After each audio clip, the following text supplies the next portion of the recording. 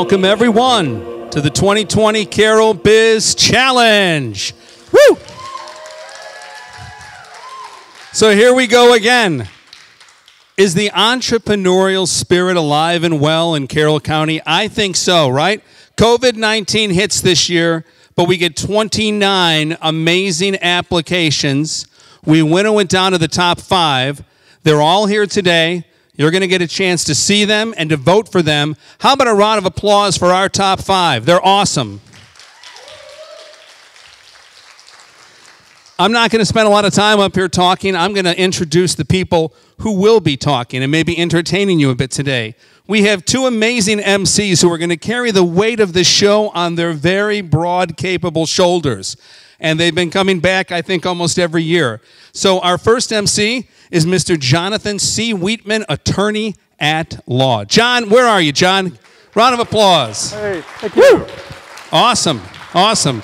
I'm, I'm at least six feet away from you right now, I One, think. two, three, four. Yeah, five five dollar foot long, six of them. Right Okay, we, we are working it out. Or got two, it. three, three foot subs. Yes. Okay, that, that, works. that still works too. Uh, and our next MC, this man, you can describe him as an enterprising gentleman, also the creator and the founder of the Carroll Biz Challenge, who sold this idea to me about nine years ago over a pint of Guinness and a cigar at O'Lord. And So we knew the way to my heart, and this has been our marquee event at the Chamber. So I want to introduce to you and then let these guys take it over. Mr. Jason Stambaugh. Jason. Little elbow action. That's all I have to say. I'm going to let you guys take the show. Excellent. Thank you, Mike. Very good. Thank you. All right, here we go. Are you ready Hey. for the ninth annual Carroll Biz Challenge? Here, let's hear it. Let's let's hear it. Hear it. Wait. You notice something? Is it a little warm in here? It's more than that. You, you think so? Yeah. Um, I can't put my finger on it. I feel like it's right at the tip of my tongue. Like if it was a snake, it would have bitten us. I, I, we're- we're kidding. Uh, every Well, kinda. thing is different this year, and I do mean everything. And by out of all of the biz challenges we've done, this is certainly the most unique biz challenge experience. It was really easy to get a parking spot when I got here. That was different. That is true. That was different. Very, very true. Yeah, yeah. Pulled right in. So what, what do you think it is? What, what is it? I think it's we've got an empty house, John. We do have an empty house. This is the first time ever we've had virtually no audience. Ah, We have a mic problem. all right. Is this better? There we go. There we go. Good. Good. You can't start We over. that It's- out of the, it's- we got that out of the way. So you, know what was wrong is my mic wasn't on. That's what was wrong. All right, that's different too. So what in-house, we, we've got our presenters, we have our, our astute technical crew, uh, we have a VIP section that we'll present later. That's very exciting. Indeed. But otherwise, the house is empty. Indeed, and as you can uh, see here, we, we've got some Yeah. social distance. I think the entire crew uh, that is producing the show tonight is, is keeping their space and doing their best. And Yeah. John, speaking of which, can you, Um, can you inch over real, real quick for me, just to your right a We've been ways? doing this for years. You don't like me anymore? I, I don't, but I we like- gotta, I gotta like keep our six no, feet. We, All right, we're all gonna have to find a better way, right. a more innovative way, I think, to solve this problem. But Let's work on that. But but I, I think I think I see some interesting folks in the audience, don't Uh-huh. you? Even The- though we got an empty house, Yeah, yeah. if you look over here, who do we have in here, John? I can't quite see them. Well, yeah, the house lights are tough, but we do have, we have some VIPs with us tonight. Who? We got Governor Hogan.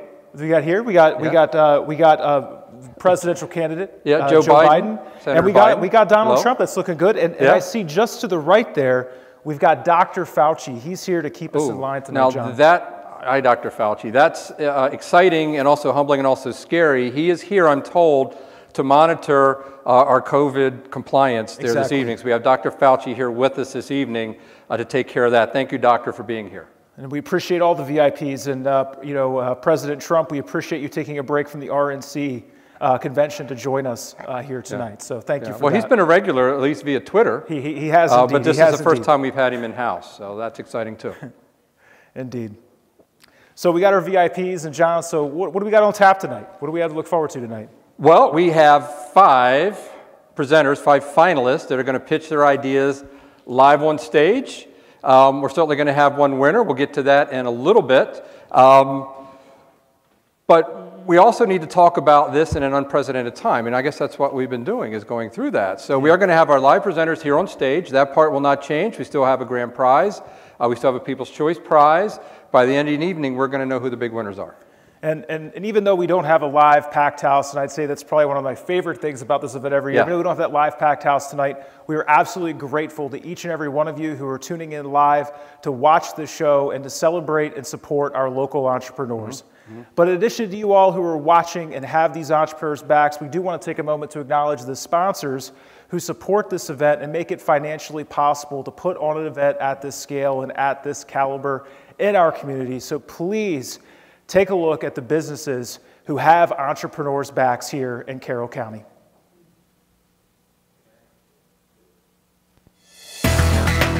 Thank you to all the sponsors of the 2020 Carroll Biz Challenge.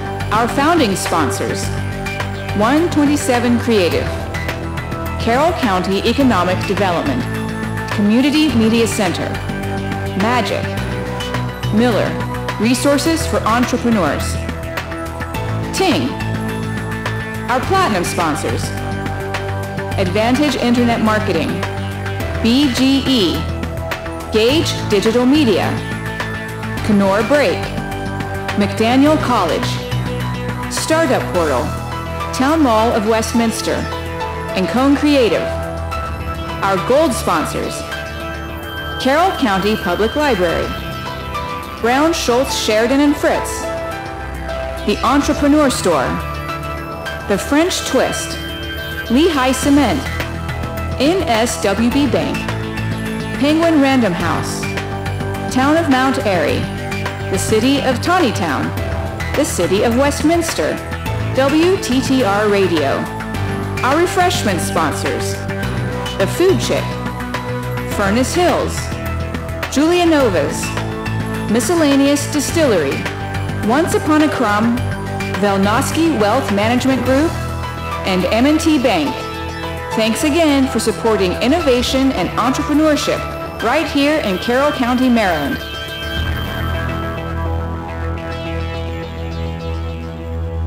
Good. So you want distance? We got we got distance. John, God, every Uh-huh. stinking year you got to bring hockey into this mix. Yeah. What's that an for? excuse. Tell- explain to me how that's going to help us.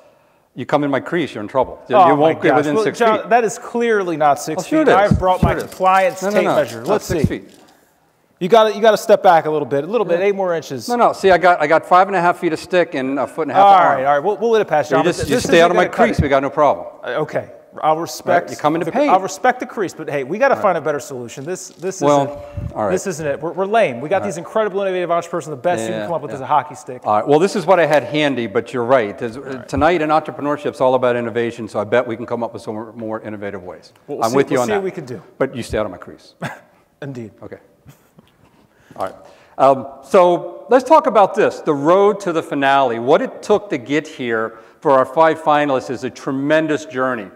Way back, February, March, April, May, uh, solicitations for applications were made. There were 29 businesses and potential businesses submitted applications to be here on this stage. The advisory board of about 10 people had to go through all 29 of those applications. And let me tell you, having been on that board way back when, that is the hardest thing to do. Um, sure, there might be a few that are not really developed ideas yet. You can get rid of a couple. Maybe there's a couple of shining stars that are kind of easy to put in the top five. But to get from 29 to 5 is a tremendous job, and kudos to the advisory board for taking care of that. Uh, that part of the journey being done, they winnowed it down to five. The five were told that they were going to be finalists here tonight, which is probably a moment of joy and terror uh, as they need to begin to prepare for the live pitch on this stage tonight. But it's a long, hard road to get here. Um, I would suggest that anybody who applies to be in the Carroll Biz Challenge is already a winner. Uh, I know many people have heard this many times, but just going through the preparation of completing that very thorough application helps them refine their business ideas, clarify their business ideas, and making their dream a step closer to reality. Those that make it through have to even refine that further. There'll be no losers here tonight. Everybody will be better for having participated in the Carroll Biz Challenge. And John, we've had nine classes go through this experience. We're talking hundreds of entrepreneurs mm-hmm. have participated in this competition over mm-hmm. the years.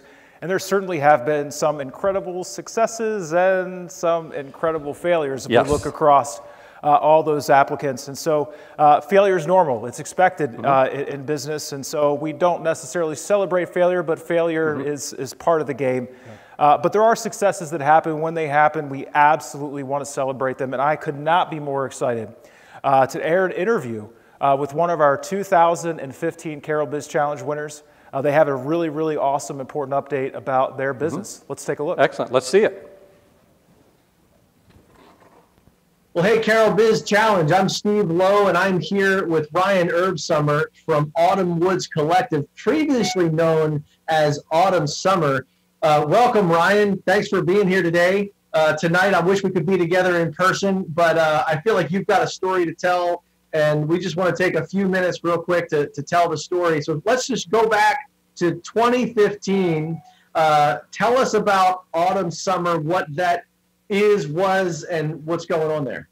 Okay. Yeah. First of all, thanks for having me, Steve. Um, it's been a crazy five years uh, to think what the company looked like in 2015 and what it looks like now. I was still working out of my parents' basement and shed at that time. Uh, we have a warehouse up in the air park in Westminster now, so it's it's quite different.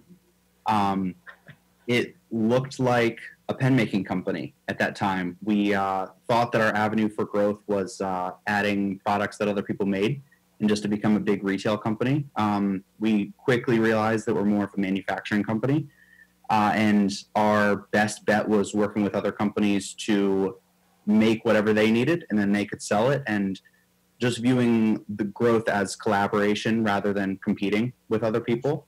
Uh, and through that, we've made a great deal of partnerships. That's where collective came from in our name originally. Um, and through just being able to ultra customize every single product that we make with lasers, CNC technology, everything like that, um, we've been able to grow. And it's been a crazy five years, but uh, I'm really happy with what it looks like now. So the reason that you're on this tape today is because you're actually Biz Challenge royalty. You're you're actually famous. You were you were in the 2015 Carroll Biz Challenge, and you won both the grand prize and the People's Choice Award. It was the first time that actually happened in Biz Challenge history, and it's only happened once since. Could happen tonight. We'll see. Um, tell us how did that affect your business? Okay. Yeah, that was it was an exciting night. Uh, when we pitched at the Biz Challenge, we originally wanted a laser, and I put up A a, laser picture on engraver, screen, right?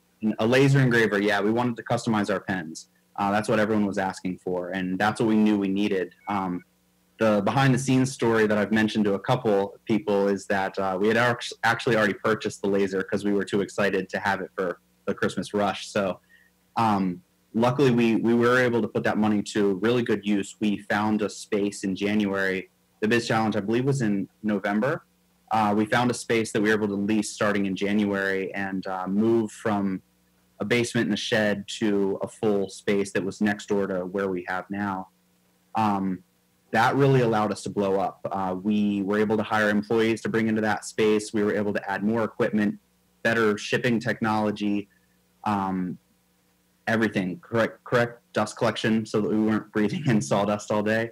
Um, but that's been i think that was definitely a big jump start for the company and i am extremely grateful for the biz challenge um, just for the visibility from that the connections that we made through the chamber um, and then just having just a little bit of money um, to start out i think that people think that you need hundreds of thousands of dollars or some big bank loan but like a little investment like that is actually a huge deal And what would you say your sales have been in the last five years?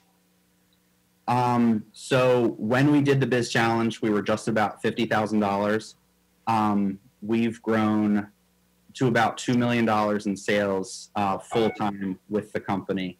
Uh, so it's been a crazy, crazy couple of years. The But it's even gotten crazier, and I know we got to wrap this up, but you are about to make a big, big move with this company. Tell us about that.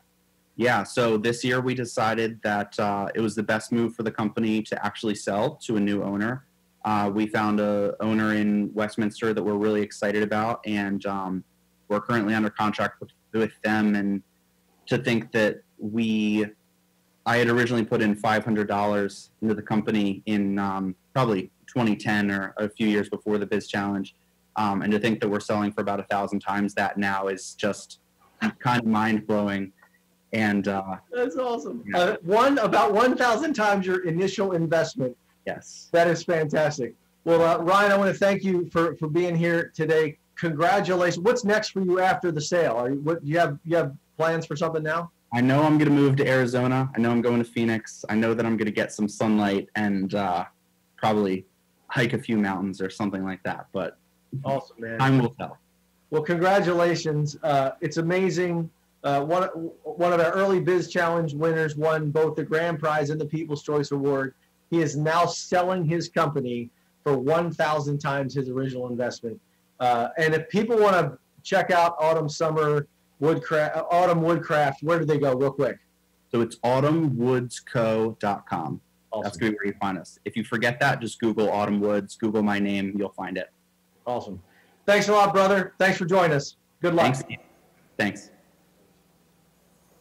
Excellent. I don't know about you, but I love hearing what past participants, winners or not, uh, how they've been doing and what they've done with their businesses. It's it's incredible, and uh, and you know we've I've been here for everyone, and so have you. And I remember when R- Ryan pitched, Yeah. he had one of the most engaging and heartfelt uh, pitches, one of the more unique ones I've ever seen. And it's no surprise to me that he's gone on to have that kind of sex- success. So congratulations uh, to Ryan, and we wish you the best of luck in your future uh, endeavors. Yeah, I think that's excellent. So, with that being done, you cannot have a live business pitch contest without who? Our judges, Our judges. And we have some new judges this year, right? all four are brand new. We got I- new I new know. faces, new I names. It's going to be exciting. We have no idea what to expect. What Yeah. types of questions they'll Yeah. have. Four wild cards. Indeed. All right. Wonder who they let's, are. Let's hear about our judges.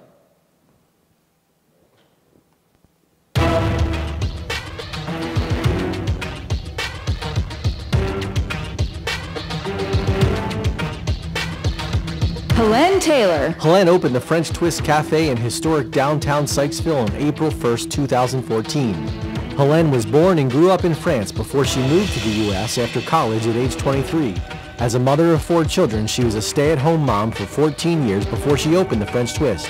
Helene was the very first winner of the Carroll Biz Challenge People's Choice Award in 2012, and she served up over 315,000 crepes for hungry customers. Dave Palmer, Dave is co-owner of Brewery Fire in Taneytown, Maryland. He discovered a passion for home brewing in 2008 and teamed up with Jesse Johnson in 2017 to turn their shared love for home brewing into more than just a hobby.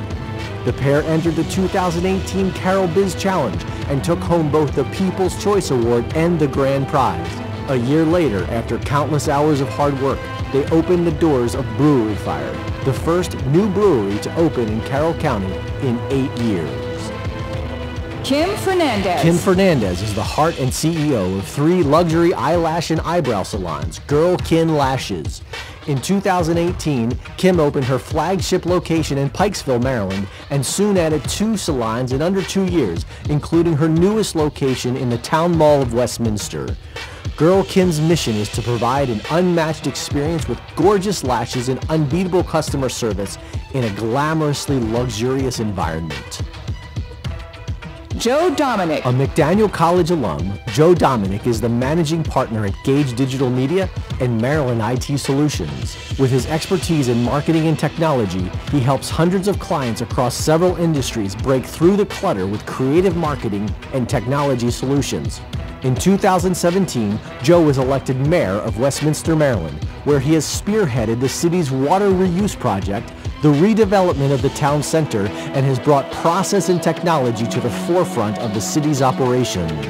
please welcome the Carroll Biz Challenge judges. All right. Look at Wait, wait, wait. oh, wait, Mr. wait. Cuban. Mark How Cuban. many times did we have to tell you that just because you're a Shark Tank judge doesn't mean you were qualified to be a judge of our local Carroll Biz Challenge? You- you've Security, got, get this you've- guy he's out of got to work his way up to this. You're not, you're not ready for this. Security.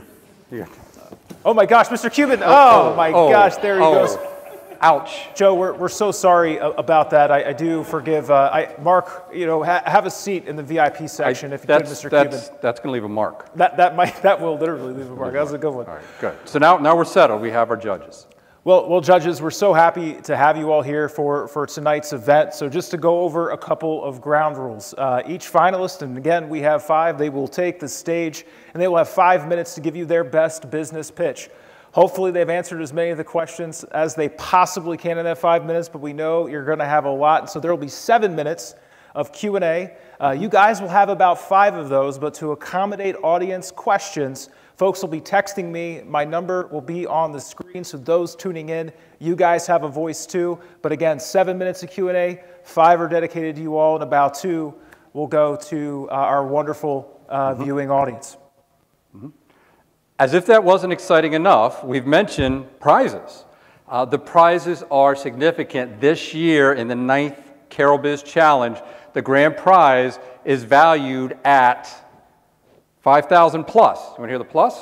5,000 cash plus uh, services, other things that they're going to get. $21,601 is the value of our grand prize Who tonight. Who gave that $1? What is that, like a, like a candy bar? That was a uh, change under Mike's seat. Ah, I, I thought think, maybe it could have been a Red Bull or something. I think that's what that was, but 21,601. Uh, and not to be outdone, and you heard perhaps earlier uh, that we have in our midst uh, the first People's Choice winner who's going to have a fabulously successful business. The People's Choice Award tonight is going to receive $1,000 uh, and all the publicity they can handle. So there's going to be a lot of uh, cash and services and prizes handed out this evening, and I'm very excited about that. Well, let's get, let's get our first entrepreneur on stage. Let's Sean. go. We, All right, are we ready for pitch one? Yeah. Our first presenter this evening is Eric Wendler of RetroStrap. Eric, please join us on stage.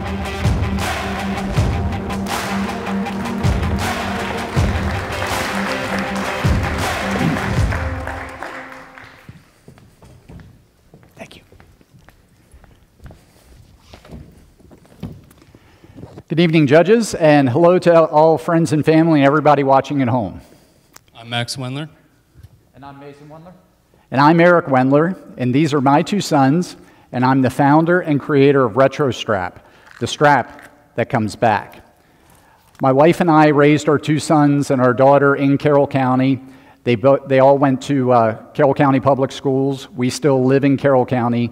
And I'm here tonight to go for the grand prize. And by winning that grand prize, that'll get me closer to my goal of being able to manufacture, sell, and distribute RetroStrap right here in Carroll County and create jobs in Carroll County.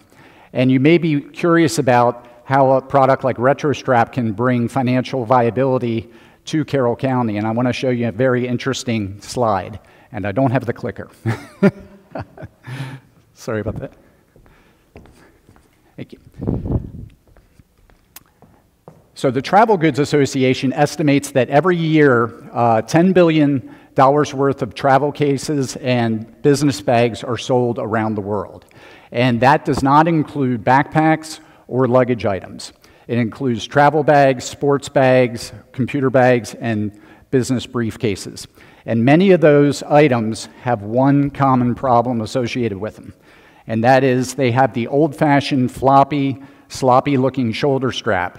And if you're anything like me and thousands of other people, you've had problems with this old fashioned strap. As you can see, when you put it on a chair or a table, it hangs down. Uh, when you carry it with you, it drags on the ground, gets dirty, creates a tripping hazard. And then, as you can see on all the bags we have here, the strap's laying on the ground, getting dirty, creating a tripping hazard, looking unprofessional. And I actually travel with a bag quite a bit, and my son Max is going to show some of the problems that are associated with the uh, shoulder strap when you travel. If you put the bag on the conveyor belt in the airport security line, uh, it hangs down. They usually make you take it off, tuck it away, do something with it.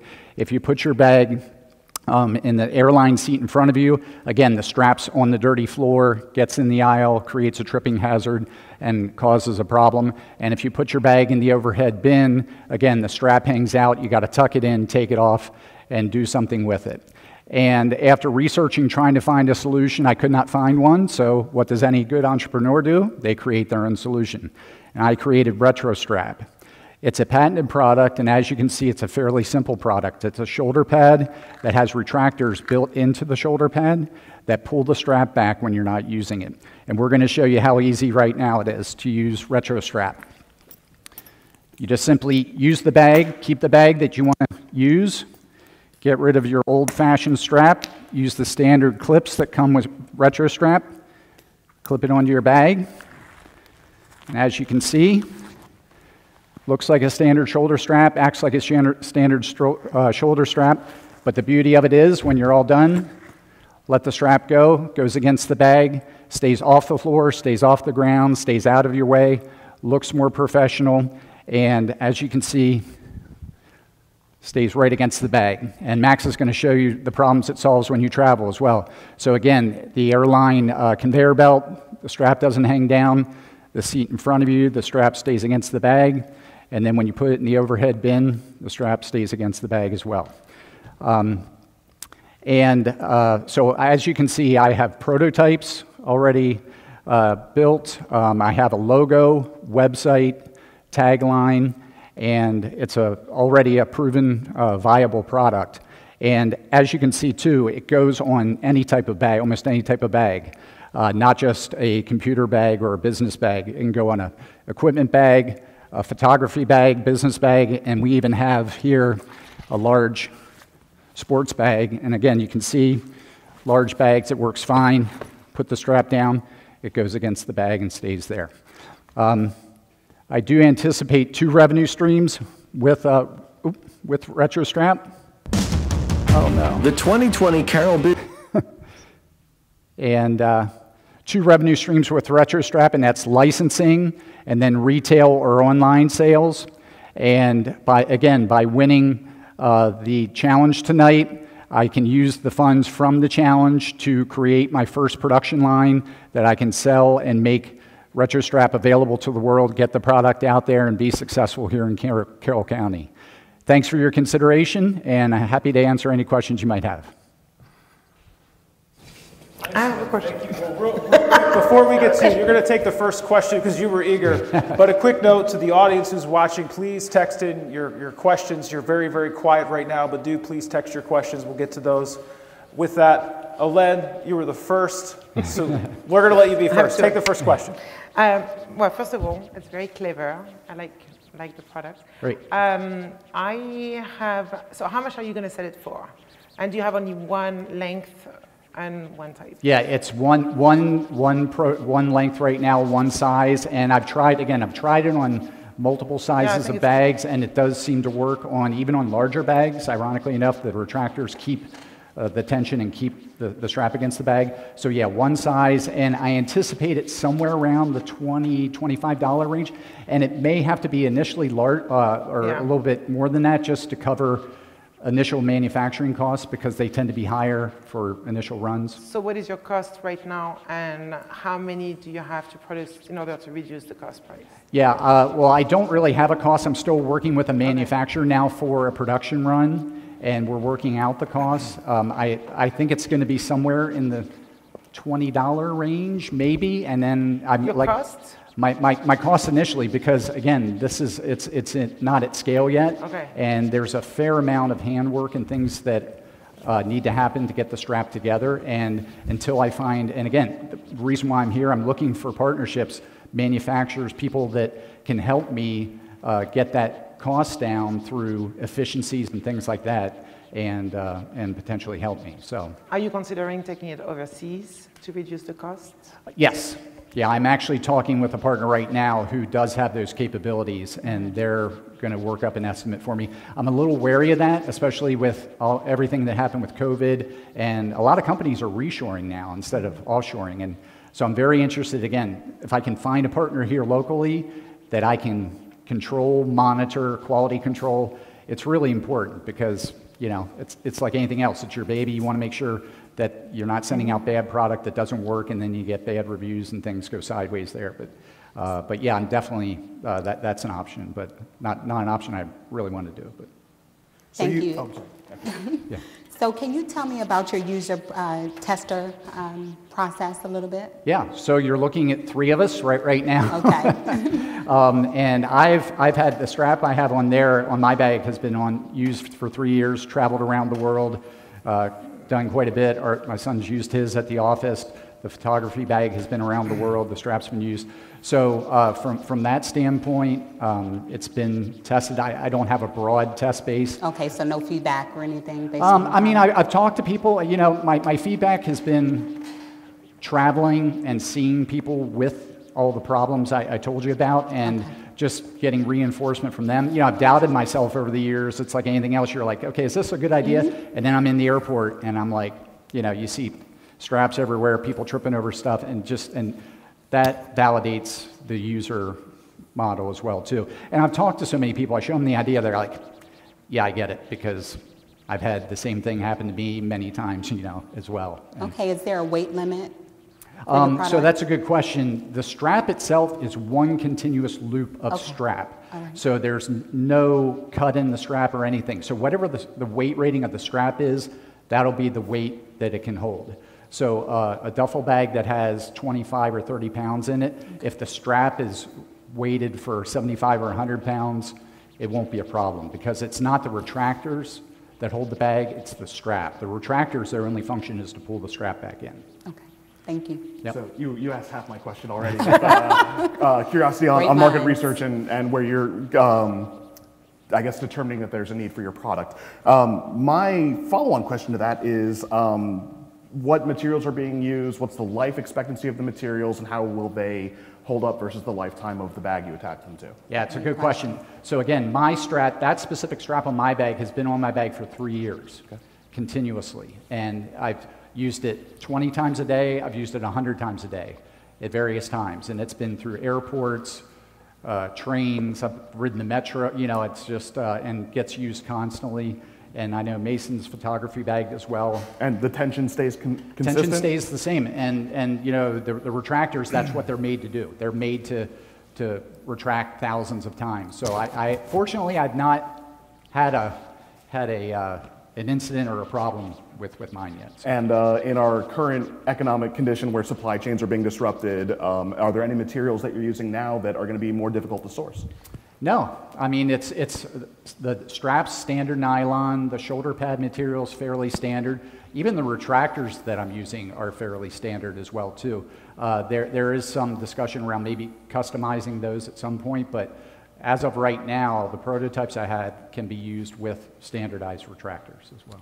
Would you be able to offer a life warranty if it's, Um, I've thought about that, Durable. and I, I, I think I'd be comfortable with that because, again, based on if your margins are good enough? what's that? If your margins are good enough Yeah, to. yeah, but uh, yeah, I don't, I, I don't see a problem with that with a warranty, you know, because again, I've, I've had enough comfort level in use and uh, I, I haven't had a problem Mm-hmm. at all.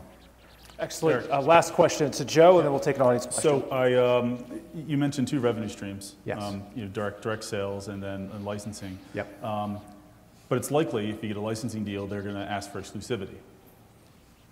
Are you going to be able to? You mentioned you've been doing this for at least three years. Yeah. Right. Are you going to be able to give your invention, your baby, up, and see total control just to license the product? Well, I, I'm, I am open to that for a certain period of time. So the licensing agreement, you know, would be if somebody would say, and, and you know, I, I actually do have a licensing partner right now. I, I, I am talking, I have a partner up in New York City right now that I have a licensing deal, but it's only a two-year deal. And they're, they want to put the, the strap on their bag that they're creating. So I'm not, yeah, I'm not going to make it exclusive in perpetuity for anybody. Um, it's initially, this, this company was really interested, and I did give them the licensing deal exclusivity. It actually runs out next year. So, So yeah, so I mean, I'm looking at it, and um, obviously, um, if you license it, you're licensing the mechanism. If you, if you're direct sales, you, people are going to ask for different colors, different styles, maybe even different materials. You're going to have to have a whole, a whole range. Uh, I think about the bags that I own, and I would need three different straps that are three different colors for it to look right. So, um, I, I, but you know, I know it's hard to give up your baby if it's if it's your well, and I'm happy to do that. Uh, you know, to Helen's point, you know, the margins and everything, right now, black is where I need to be, and it's most functional for 70% of the bags that can be used. So uh, but I'm definitely open to other, other variations of it um, at some point to Thank make you. it Th- more thank, vibrant. thank you so much. So always uh, that's all we have time for tonight. Audience, we're going to get you next time with the next presenter. Thank you. Thank you. Thanks for your time. Very good, very good.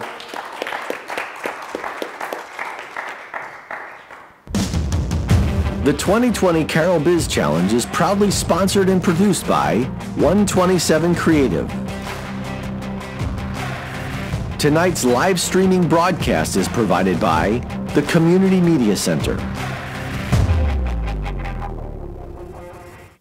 Man, hold on here. You Uh, gotta, what- what- you gotta measure what- one. what you gotta you- measure twice, cut what once are you here, just to be sure. We got six feet. John, I told you I was gonna be innovating. All right, bear with me for one moment. I- I'm here. sorry, this won't- everybody. I This don't- won't. This won't take I- I- long. well, let me. I'll, I'll help. This won't. There we go. All right. Just like that. And uh, Hold mm. on, hold on. I have to do a quick modification here. While Okay. I'm doing this, you go ahead and uh, you, you, you take Uh, this uh, belt yeah, and get this that is little for me? Velcro around it. Yeah, absolutely. All right, you know what this is, right? Yeah, you, you got this. All right, Let's so I, I put this on. That's exactly right. You put that on, you put that Velcro strap around it, and I think, John, this will help us finally, finally, Oh, oh, all right, all right, all right. finally, all right. there we go. All right, I think I'm starting to see Okay, it. I'm Wait a innovating in real time. People, you know, here we go. All right, that's better. Here we go. All right, so this this goes. Yeah, exactly right. There we go. Uh huh. Oh, here I'm we go. catching on. Here we go. We're gonna loop this around. Uh, You've been getting right. a little close to me, John. I think this will work. What do you think? right, so. what, I- I what- said it what- what do we call this invention? The shaft? I, What- what you- I, I, I tell you what, I'm don't know. calling it What? pole dancing with Jason. No, oh gosh. Well, I, well, I think we need to work work work on that name a little bit. so- but I, I, I just don't think this is uh, good enough for market. This prototype not nearly as sweet as the retro No, no, you're getting ahead of yourself. It only comes in one color. Any investors? Pine And, who wants to write a big check? Anybody? Yeah. Senator Biden? No, uh, nobody. Nobody's pass, raising their hand. All right, John. I think we, we could do better, but this was a nice this was a nice try. I- Uh, I this appreciate is a good the spirit. prototype. But uh, with that, we're pleased to welcome our second participant tonight, Jenna Shriver, who will be presenting Together Studios. All right, Jenna. All right, now, but who goes? I, I don't know. Let, let's go this way. Let's go. All right. We got to go this way. All right. Ow. here we go.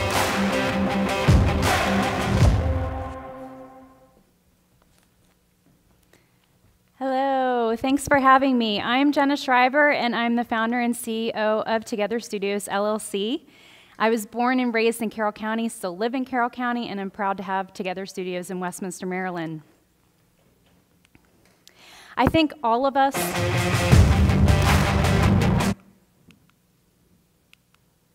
It went through all of my slides, of course.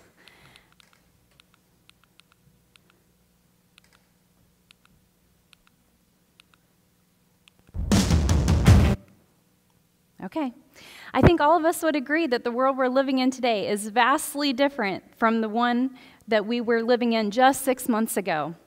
We were all facing new problems and obstacles that beg to be solved and overcome. I have a core belief that as successful entrepreneurs and leaders, we see opportunity in every obstacle. Businesses exist to solve problems and make life better for others. Those solutions come from the dreams and hard work of entrepreneurs and their teams. This is exactly what the Carroll Biz Challenge celebrates and supports. And with the same heart for supporting entrepreneurs, I see that there are solutions lying dormant in half or more entrepreneurs in Carroll County because they don't have access to or can't afford the resources that they need to start and grow. So, I want to share with you some challenges that female entrepreneurs can face so I can set the stage for the solutions. Now, many of us are aware that it's harder for women to start and grow and sustain a business. It's harder for women to attain funding. That's a pretty well known fact. And so, the solution I took my struggles and I turned them into solutions for other female entrepreneurs. Where there was a problem of women not being able to afford the resources they need to start and grow their business, the solution is Together Studios. Together Studios is a female focused co work space, studio, and community with the resources needed for the creative entrepreneur. We firmly believe that we are better together, and our modern vision is a workplace where we can collaborate, create, and have community as a small business owner.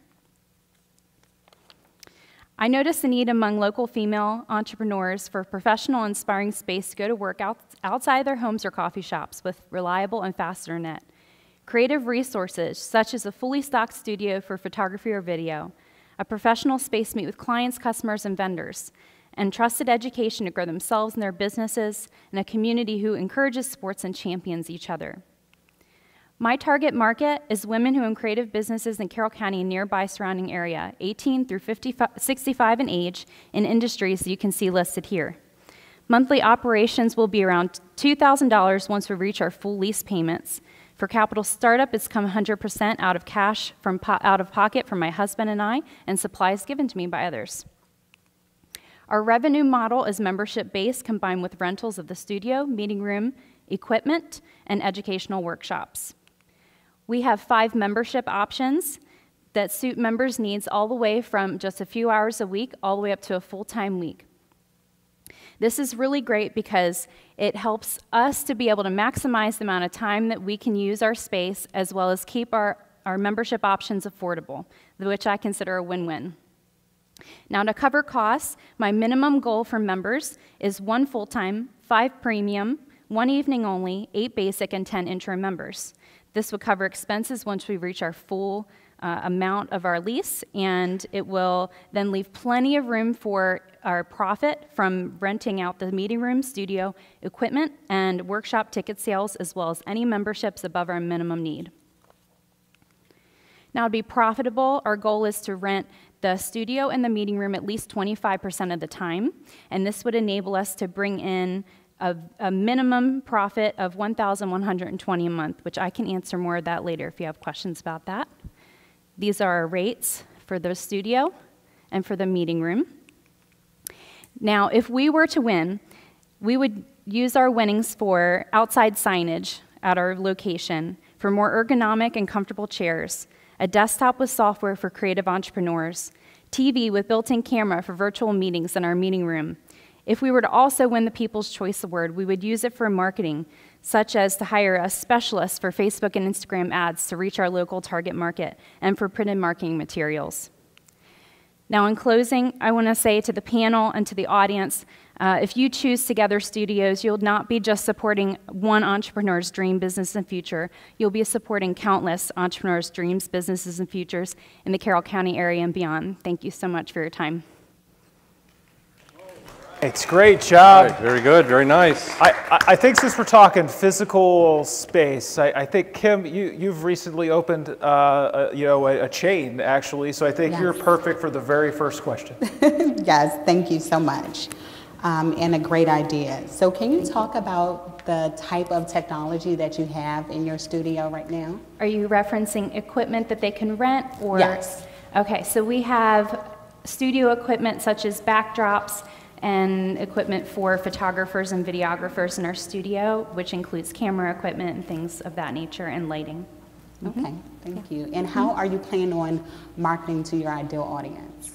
We've been using Facebook ads and Instagram ads and uh, encouraging word of mouth referrals through a network that I already have created in the past 10 years of my entrepreneurship journey here. Okay. Mm -hmm. Thank you. You're welcome. So can I? Yeah, uh, fire away. so you said that the main source of revenue would be your membership. Um, and then renting other things. But do you, first of all, is it open only for women? It's female focused. Female. We are not, we can't, legally, we can't turn away anyone, and I wouldn't want okay. to, but we are, are geared towards creating solutions for female entrepreneurs. And what are you, do you have possibility to offer lunch? Are you going to have food truck come in and maybe, um, you know, provide lunch once a week, twice a week? Or can you, any other revenue this way and maybe take a percentage? Or, um, mm -hmm. I just lost my question, hold on. That's okay. And I can see, either, uh, oh, daycare for women who work from home. Mm-hmm. I, I, know it's not a good time to talk about this, but yeah. um, is it something you can expand to to have a small daycare so the moms can go work while the kids are being That is absolutely an excellent question. It is something that I am looking into since every all of this is happening right now. Uh, I would love to be able to connect with maybe a local daycare in the downtown Westminster area. That would be a great solution to have a partnership there. Unfortunately, I don't have enough space at our venue to actually accommodate them on location but maybe in the future. Okay. Yes. How much space do you have? We have around 1,400 square feet. And how long have you been open? We have been open since the beginning of July. Okay. Mm -hmm. Jenna, so 1,400 square feet is um, it's probably a good start. Yes. But um, it's probably not where you want to end up. Correct. Uh, in terms of scaling, Mhm. um, your plan as of today, we know they change. Uh, would it be to open up a second location, or would it inevitably be to open up a larger location in the same area? So it, it could go one of two ways. It could, it could go ha- opening up an additional location in the Carroll County area, or it could be moving our location to a larger space. I do plan to stay where I am for at least two years to be able to really solidify and be profitable before considering scaling. But um, my, my larger vision for Together Studios is that we would have additional locations in other cities. What could your max profit be in this current location? About $4,500, $5,000 low estimate, because I like to be on the safe side. So is that profit above and beyond what you would pay yourself as a salary, or does that include that? That, that includes that, yes. Thank Mhm. you. Yeah. All right, before we get to you, Dave, we're going to get you a question, but I want to sneak an audience in. We Sure. totally stiffed them the last time. So, uh, a couple of rapid fire questions. Will your space have crazy fast fiber internet? Is Yes. right? Okay, there we go. Um, and second rapid fire question Is the space uh, open and accessible 24 7? 24/7, Monday through Saturday. Monday through Saturday, Yes. perfect. Dave, on to you. Uh, just, just a quick question that I don't feel was addressed in the pitch. Sure. Uh, why you? I understand the business model. What makes you the person to do it? Oh, because I have a really huge passion for female entrepreneurs to help them to start and grow their businesses. I, I love to be able to encourage other other women. That's that's part of my my niche with Together Studios. Whenever they join, they don't just get the resources. The they get the resources there, and one of those resources is me. And It's, your professional background being? uh, 12 years as a wedding and portrait photographer in Carroll County. Thank you. Yes, thank you. Are you going to be able to offer classes or Zoom classes that will provide a revenue? Yes. For, I mean, offer the people that rent to offer classes with all their talents? Yes, so part, part of the, um, the structure is that we would offer education to help them grow. We have already hosted one learning workshop, and we are planning on hosting more. And we're also hosting community events to be able to build that sense of community, whether you are a member or you're not a member of Together Studios, to just help build the female entrepreneur community in Carroll County. Mhm. Panel. Do you provide good coffee? Sorry. Well, we do provide coffee, but I, I, it's on my uh, agenda to work with networking with someone else that Okay. provides great coffee. When, when you say you'll host like learning, like seminars, um, Yes. are they are they for your tenants, or are you talking about, or maybe maybe this is just an idea, Mhm. um, having your tenants hold those seminars for other local businesses? Can that would certainly be a value add for your tenants if you help to market that. But Yes, I didn't yeah. know if you were you were considering that or not. both. The answer is both, yes. I, I'm hosting some, but then I'm also looking to collaborate with other, others who are experts in certain areas, yes. Okay. Mhm. What type of feedback have you received so far with your concept? I've, re- I've received really great feedback that it's something that's needed, that it's wanted. Um, of course, it's a little challenging to get started during this time with the restrictions and people's comfort levels being in person right now. But I believe that Together Studios is a solution moving forward, that it's going to be needed even more once restrictions are lifted. There's so many women that are starting businesses in this season because of losing jobs or just deciding, okay, I don't want to do that job anymore. I want to do my own thing. And so I believe that Together Sue is a great solution for them to be able to start and grow there. Thank you. You're welcome. We've got a fast question, and we'll let the judges think about one final question. Fast question. Uh, audience said that they you glossed over the membership rates uh, too quickly. Sounds like somebody might want to rent some space, so they were asking again what were the membership rates were for the space. The membership rates are listed here. They can also find all the information that they need at our website at togetherstudios.com. The membership rates we have intro at as low as $45 a month, basic at $80 a month, evening only 104, premium 124, and full time at 320. Excellent. Well, I think that's all we have time for. So Running thank of you time. so much. Yep, thank you. Yeah, thank you. Thank you. Excellent. Thank you. Thank you. Thank you, guys. The Carroll County Business and Employment Resource Center is your local connection for all of your employment and training needs. We provide complimentary recruitment, retraining, and retention programs to help build your workforce. BERC helps you find the most qualified employees by posting jobs at our center and online, identifying the right candidate for your position, offering skills training, and hosting on-site job fairs. We make connections that work. Contact us today.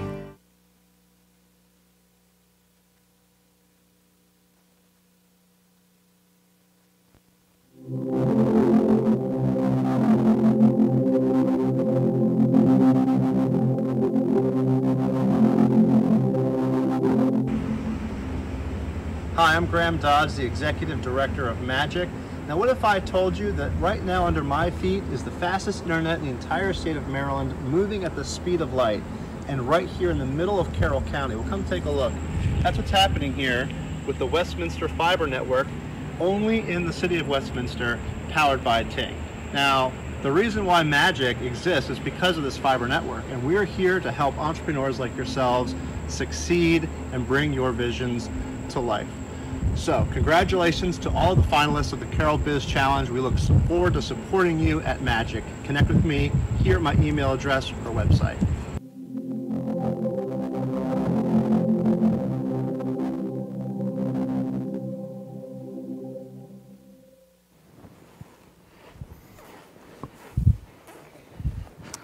John, I Well- think these are a little bit, a little bit better. I, I figured our last was a little, it, it was a little too raw, a little, little too rough. I figured these were a bit more refined and possibly work better in water as well for social Well, distancing. What do you think? As my mama used to say, innovation is as innovation does. so I don't, uh, suspenders would be good. I, I, I know. Uh, I think this, you've got multiple ways to fix it for space, but John, I, I, I think it's, it's not quite big enough. I like the inflatable route Yeah. though. Lots of, lots of There's- capacity, lots of potential. There's still a good four feet of honor system here between us. I think next time we're really going to blow them away. Yeah. Yeah. Bump, bump. Okay. All right.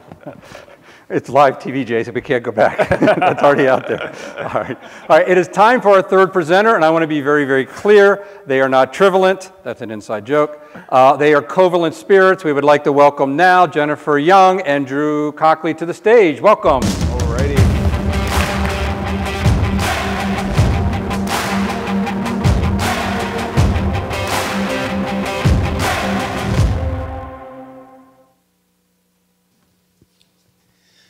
So, hi, everybody. Did you know that Westminster used to have a distillery? Every day when I walk down Main Street, I look up and I see that Sherwood Tower, and it reminds me of when distilling used to have such a vibrant part of our local economy, and that's since faded away. We are Covalent Spirits, a craft distillery coming soon to Main Street, Westminster. We want to do things a little bit differently, add our own little touch to it. Our vision, four focus areas. One, to engage. We want to partner with every local business that we can across our supply chain and value add business partners. We want to really help add to the economy here in Carroll County. We also want to experiment. We want to be known as a distillery that's creative and not afraid to try new things and be a little funky. For example, I've always wanted to make a whiskey out of beer and a gin out of whiskey. You know, Jen, if we make whiskey out of beer, do any of you guys know a brewer? We also want to experience. We want to provide our customers not only fun events, but a unique customer experience. Imagine walking out of our distillery with a bottle with your name on it, a gin or whiskey blended and formulated to your palate and your liking. You cannot get that anywhere but with us. Lastly, we want to educate. Quite simply, we want our customers to learn and to understand what they're drinking, better appreciation what's in their glass.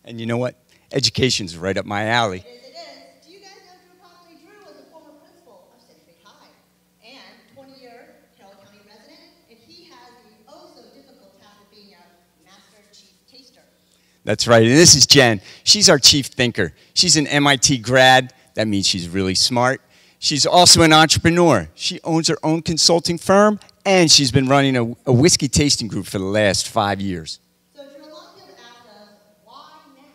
Well, Jen, now's the right time to get into craft distilling. It's a $5 billion industry that's growing at over 30% for the last four years. And the economic impact of craft distilling is over a billion dollars a year in Maryland alone. Market research shows people want to spend their money on experiences. They want to be able to laugh, have fun, and learn something new. And not only that, $18 billion comes to Maryland every year for tourism. Frederick County sees over 400 million of that money. They focus on downtown and the craft beverage industry.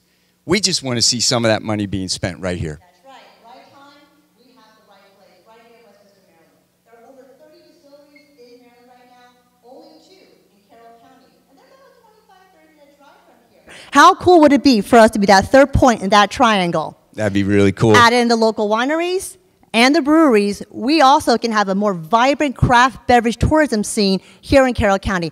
Take some of that money from Frederick County, keep the money in Carroll County.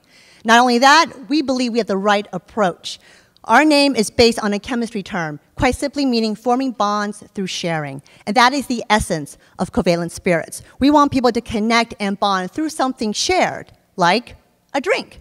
We're going to be making different vodkas, gins, whiskeys, liqueurs. Come buy a bottle to go, stay, have a cocktail. Come share a memory. Our tasting room will have lots of unique events, perfect place for your own private gathering. Come and have fun, let us do all the work. And lastly, let's connect through a shared purpose. Philanthropy is a big part of all my businesses, and this will be no different. Man, this looks really good, doesn't it? It's a lot of work. Well, we're not afraid of hard work. And if you can see from our to do list, we've been checking things off, and we're set to open next year. And not only that, when we looked at our financials over the, over, after the first year, we're going to start turning a profit. But what gets really excited is look at our three to five year projected revenues. It is cool. All right, are y'all excited? Still excited? Well, we are very, very excited. I've been spending the last five years gearing up for this moment and taking classes with different organizations, even working for a year at another distillery, just so we can prepare to bring you this. This is a rendering of what it will look like. Our equipment is being built right now and what it might look like walking down Main Street. And everybody's probably wondering where on Main Street is this going to be? We know that building. 118 East Main Street. We are taking over this building, working with the guys at Atlas Premier Realty to turn this into this. Come and have share that drink, share that memory, share that purpose, day or night. We want to be another anchor on Main Street.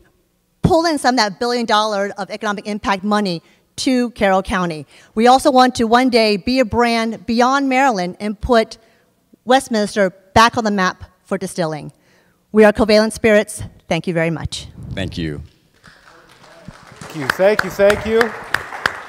It only makes sense. We're talking about a distillery Yeah. for Dave. You, oper- you, run, you run a brewery for you to take the first question. I appreciate that. I'll, uh, I'll try not to hog all the time, being the, the person on the panel who's in the craft beverage industry.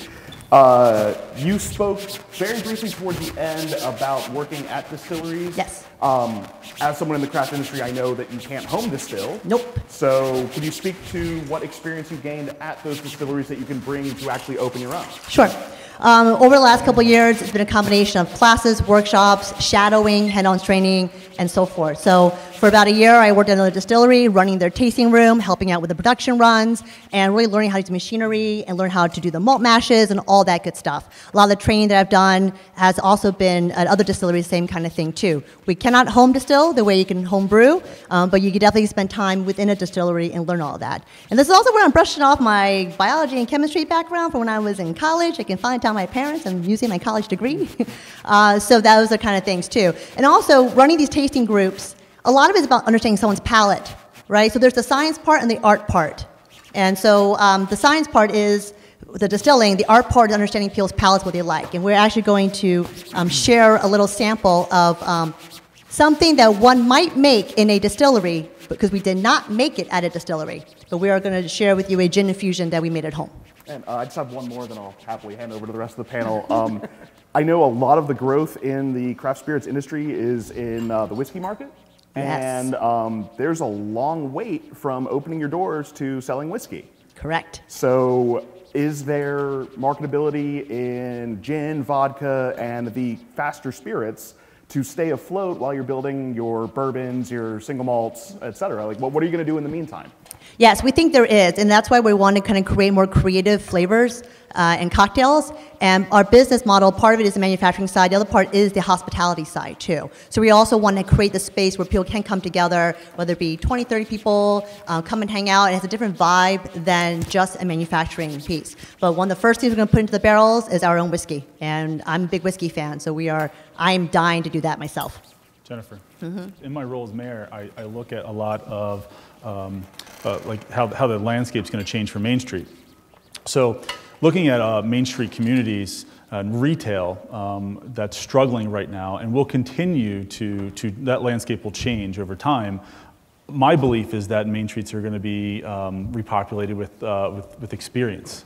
So, can you tell us, other than coming in and getting a drink, how what can we expect from the experience of walking into Covalent Spirits? Sure, this is where I tap into my 15 years of event planning background, and uh, I love planning events.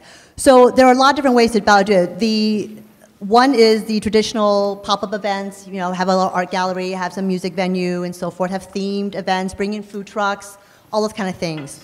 But we also want to do something a little different, where this idea of create your own uh, blend and create your own uh, blended whiskey or blended gin. That is something that's very different. So that's an experience that not only you're going to learn, but also kind of have something that you can't get anywhere else.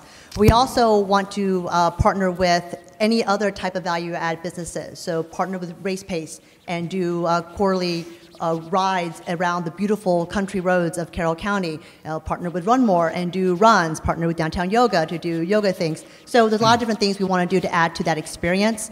And uh, like I said, this is where we kind of tap into our our event hat that we have. And we really want to create a place for folks to come to Main Street, come and stay and hang out and really have a good time.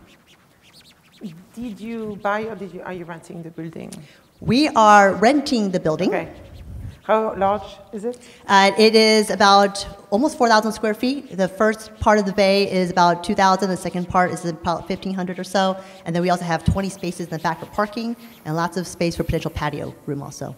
And I have one uh, question about uh, what kind of grain do you use and are you going to source locally? Of course. We've already been talking to a couple of local farmers about it, about looking sort local rye. I heard today that there are a couple of farmers that are trying to grow sorghum, which is something I want to actually uh, make into a whiskey. So we definitely will. One thing I love about Carroll County is all the farms that are here, and I really would love to tap into that for the corns and the ryes and the wheats and the sorghums and so forth, as well as the different fruits and vegetables we might use. Uh, we played around with a pepper-infused vodka at home, and we just went to the farmer's market and bought the peppers. And we made a peach cello at home, and we just went to Baugher's and bought a bunch of peaches. So we definitely want to tap into local as much as possible. We've got some audience questions. Sorry, we'll No, get to you. fine. Let's do, s- John, we had a couple audience questions. Yeah, we, Why don't we you- did. Uh, not surprisingly, the distillery prompted audience questions. Um, question number one is regarding your, your logo. Somebody believes that it looks perhaps like yin and yang, and they're wondering what the genesis was for the logo. Oh, That's a really sharp logo. It is a very sharp logo. it's a shout out to our graphic artist. so uh, we wanted a logo that had a lot of meaning to it, and we don't have the time to explain all the different meanings around it. But uh, we want something simple that translated well, but also kind of carries some symbolism. So the covalent spirits, it's a C and the S kind of put together. Um, I'm a big chemistry nerd. And the dots for me represent the bond, the covalent bond, sharing electrons. And I want to make sure that was there too. But yes, it has a bit of a yin and a yang feel, which, no coincidence, my last name is Young. And it also has a look of perhaps a sharing and fluidity. So this logo, the cool thing is that each person, you look at it again and again, you see more things to it, which is to me kind of kind of fun and awesome. But we, we love it. Okay, and then one more, more direct audience question. Will you have food? We will have food through partnerships. We will not be providing our own food, and this is where we talked about engaging with local partnerships. We are so excited about having local food trucks, having some pop up uh, experiences. We also want to do this idea where we uh, have someone either in a, maybe a golf cart or a bike and do a delivery service. So, folks in our distillery, you can bring your own food in if you want to, order from a distillery, we'll go get it for you and bring it back to you and it's just as if you have a restaurant there. So we definitely want to have food there and create, like I said earlier, a space that people want to come and just hang out and kick back and enjoy life a little bit. Kim, final question to you. So great. Your vision is is pretty intriguing, very ambitious. Okay, so keep in fact that the environment where we are right now. How has your business change shifted or, um, you know, based on with you opening September 2021? And have you leveraged any, um, you know, uh, benchmarking of current distilleries uh, that are open right now? Yes. Fast answer. Oh, yes, we, we're, yes, we have. Yes, we have. I know, it was. Yes, we have. That's all. Okay, out of time. Excellent. Thank you so All right. much. Great Fantastic job. Presentation. Thank you. Great job. All right. Now another video from one of our wonderful sponsors.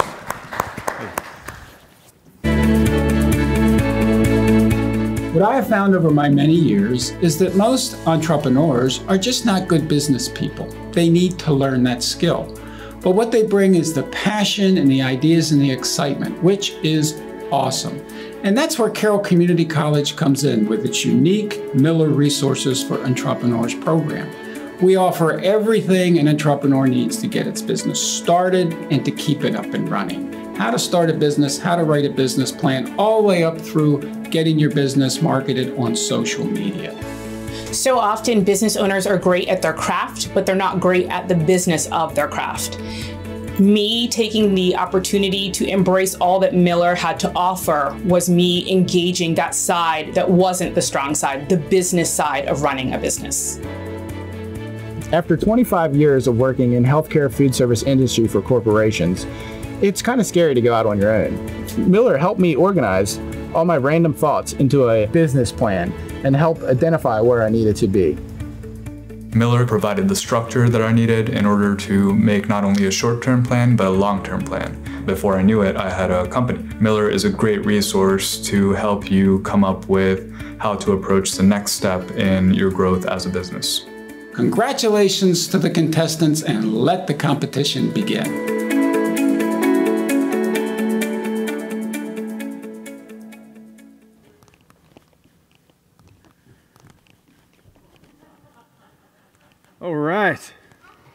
Wow. Tell you what, John, I think we have found the ultimate social distancing device. I, I, I can't see, I can't hear, and hey, they work, don't they? This is the first year I'm not afraid to fall off Well, John, I, I think I think while this is the most extreme uh, device we've come up with, my mobility and my general just uh, I'm just not all there. So I, I think we, we gotta we gotta take it down a notch for the next one. All right, with that, we are pleased to welcome our fourth uh, fourth presenter tonight. I'd like to welcome to the stage Julius Knapp, Chris Nallo, and Tiffany Crump as they present Dirigible Systems.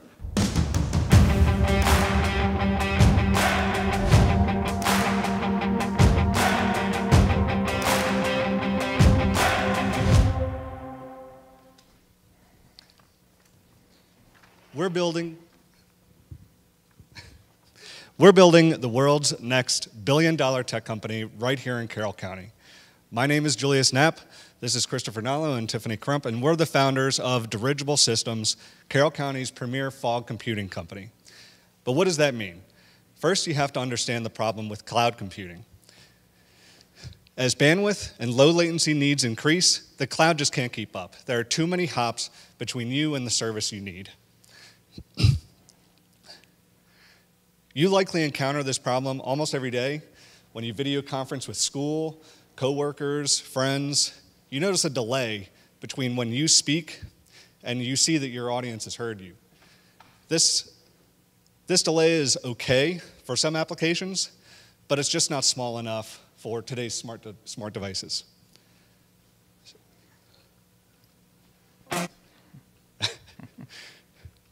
Where would we be without technical errors?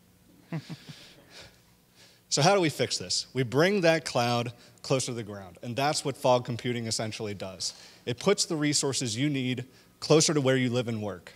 With the fog, you can trust that your critical and time sensitive data is taking the most direct route to its destination. It also enables capabilities that weren't previously possible, allowing medical professionals to monitor patients remotely, for example, and uh, allowing businesses to interact more closely with their customers. We're able to accomplish this when there's a high-speed fiber broadband infrastructure in place to support us. Our servers reside locally on those networks, and our first phase will be built right here in Westminster on the gigabit fiber network with plans to expand to central Maryland and the surrounding area. This is all part of a brand new market that's expected to grow to $4 trillion over the next 10 years. As part of this new market, we'll target a diversity of businesses within Carroll County, autonomous drones for our agricultural industry, Internet of Things management for our manufacturers, and progressive web applications for businesses that want to break free from the app stores. We'll offer a public fog with curated services designed to meet a variety of business needs. We'll also offer some professional services and application development to help businesses leverage the benefits of our fog because we, we know we understand this technology better than most right now. And for customers that want their own private instance, we'll offer a, uh, uh, we'll design and deploy a system customized to meet their unique needs. We're already on, on track to generate more than $160,000 in revenue this year with three employees serving the DoD and some other private customers. We have some additional private customers in Carroll that we'd like to bring on board before the end of the year. And over the next five years, we're expected to surpass $20 million in annual revenue and employ 70 people from Carroll and the surrounding area. And this is our only competition. No big deal. but this is why we say we're building the next billion dollar tech company. We know how important this technology is to these companies, which are currently moving too slowly in this market. We can beat them to market in Carroll County. More than that, we have a competitive advantage. We have more than 30 years of experience between us, which has given us a great understanding of the technology and the market.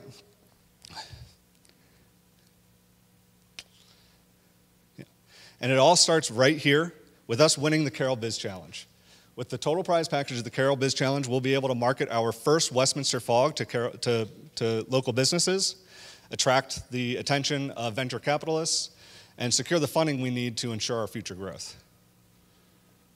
And lastly, we'd just like to say thank you to the Carroll Biz Challenge and the community uh, who have supported us so much, especially over these past few months. Uh, we really do hope that we can, we can build the next billion dollar tech company right here in Carroll. All right, thank you, thank you. Thank you. Now, since you guys are talking tech, we have one of our judges here who is deep into the technology space. So, Joe, why don't you take a crack at the first question?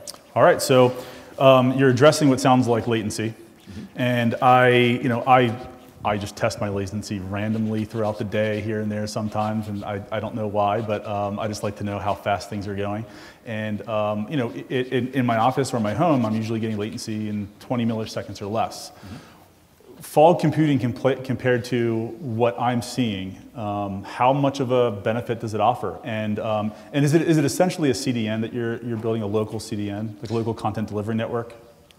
It's so when most of the services you use coming from the cloud are hosted regionally, uh, some in Virginia, Ohio, California.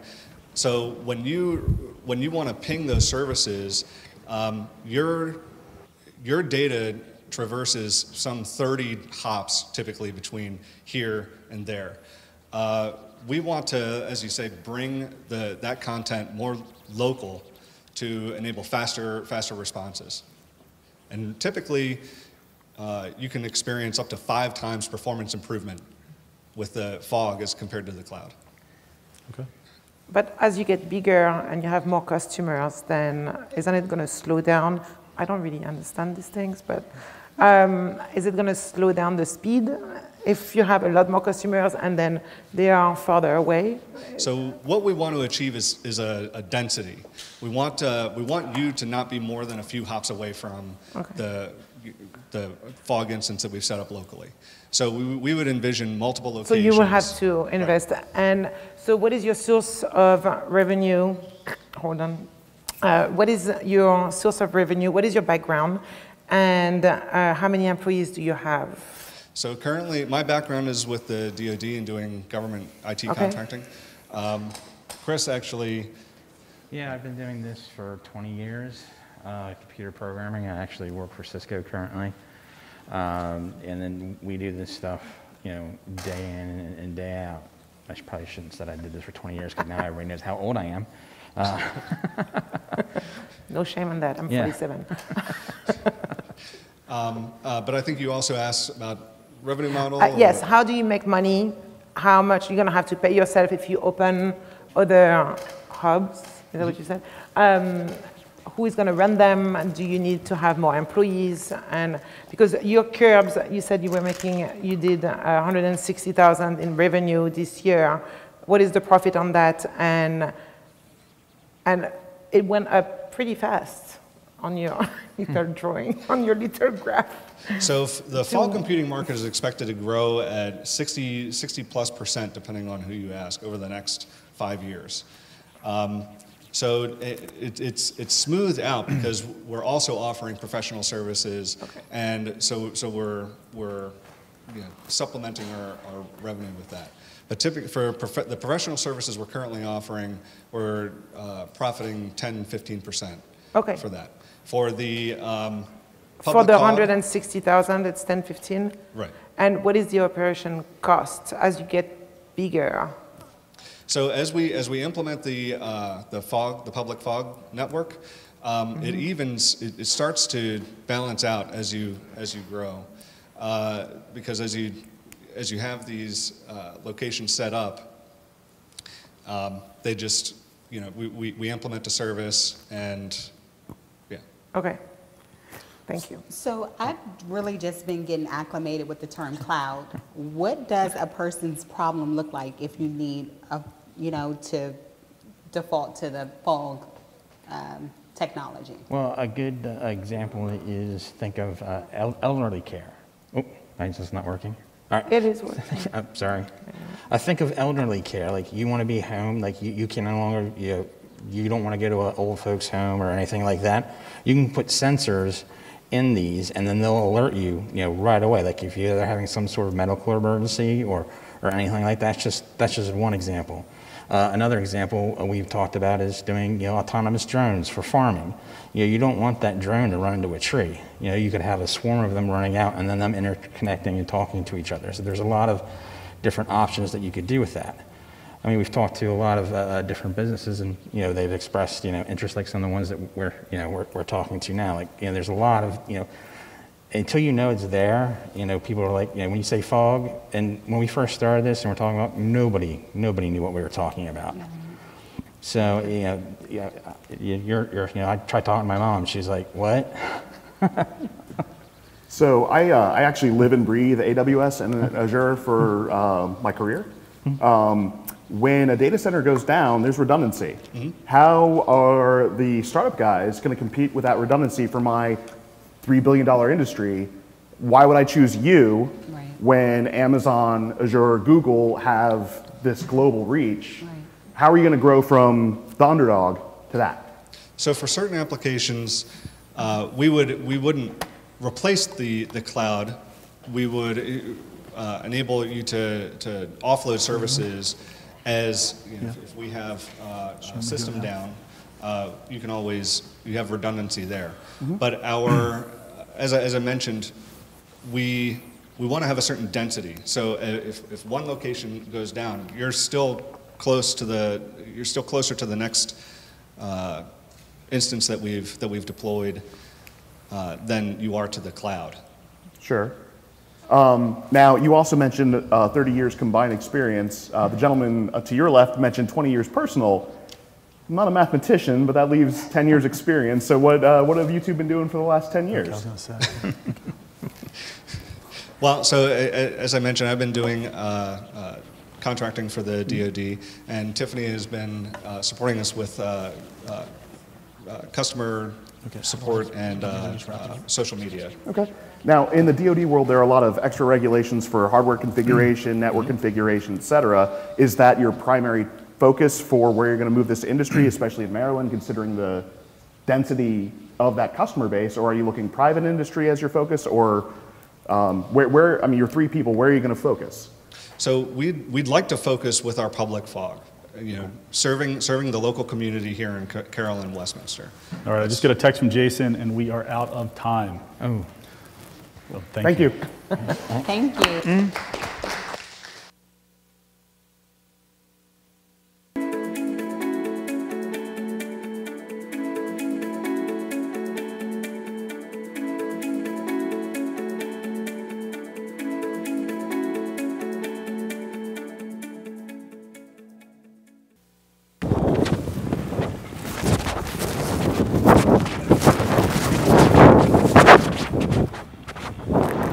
Think, John? I feel more Wait. agile, more agile. I got something you Wait, don't have. what? Mine's incomplete. Oh, okay, look what- Where is it? Do you see it? Is it? Oh, I see. Uh, I put it all backwards. well, you never know. I'm interchangeable. It's more fun that way, right? Hey, but we- I'll just talk this way the whole time. We'll talk back and forth. Um, John, I, I, I really do feel like you roll up in a bar in this, people are going to steer clear. I think so. I think that's really going to deter a lot of folks. this is fun too. A, a lot of value here, here, I think. I, I think the noise is, is definitely something different with this one, but What? but I think this is our best way. it's hard to hear. But it is. It It is. is. hard. It is indeed. So, so John, I think that this is probably a keeper. I think the finest of our inventions tonight, but uh, you know, I could suggest a few modifications, but we'll maybe next year we'll, we'll think of a new way to I'm handle thinking it. this and the bubble and the pole. Let's be safe. All, co- all combined. Yeah. Yeah. I dig it. Layers of defense. All right, we'll, We'll we'll, meet up afterward. We'll build All a business plan. Okay. All right, it's come to my attention that the sooner I present presenter number five, the sooner I can get out of this thing. so, without further ado, it's my great pleasure to present presenter number five, Jeremy Willett, who's going to speak about Willett Family Farm. Welcome to the stage.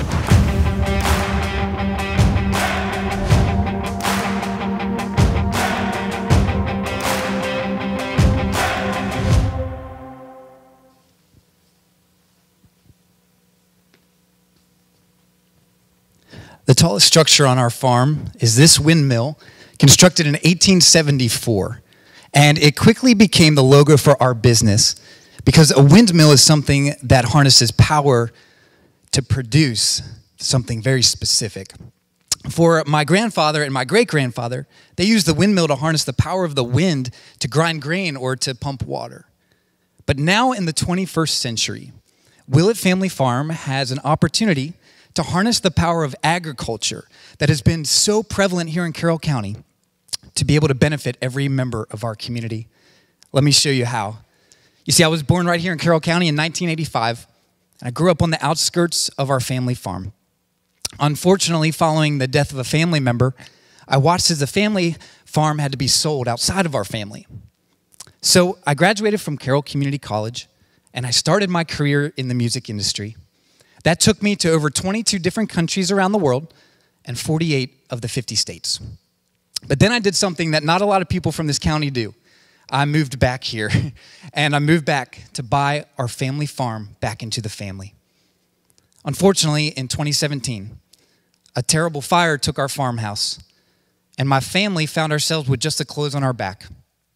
But this experience, it also grew us closer to our neighbors as we watched our community rally around us, making sure that every need that we had was taken care of. Later that summer, I was given a unique opportunity to travel to Africa to learn from a group of African farmers that were practicing sustainable agriculture. While I was there, I lived with them in the village. No running water, no electricity, no bathroom facilities. But the one thing that I learned was that every single day in the village, there was a funeral. And these deaths were being caused by the contaminated water that these children had to drink. I left that village that day knowing that when I went back home, I was going to do something about what I saw. You see, our business is located on over 200 acres of farmland that's owned by our family and preserved in agriculture. And we produce things like fruits and vegetables and poultry that we make available on a pay what you can basis to ensure that members of our community have access to nutritious food, whether they can pay for it or not. We then put on agritourism events and farm stays. In fact, here are a few quotes from some of our recent guests. In the past year, we have welcomed over 200 guests from nine different states and two different countries. Most of these are families, adults with young kids that come to the farm because they want to collect eggs for the first time. They want to hold rabbits. They want to watch the horses in the pasture. They collect firewood for a campfire and they sleep under the stars.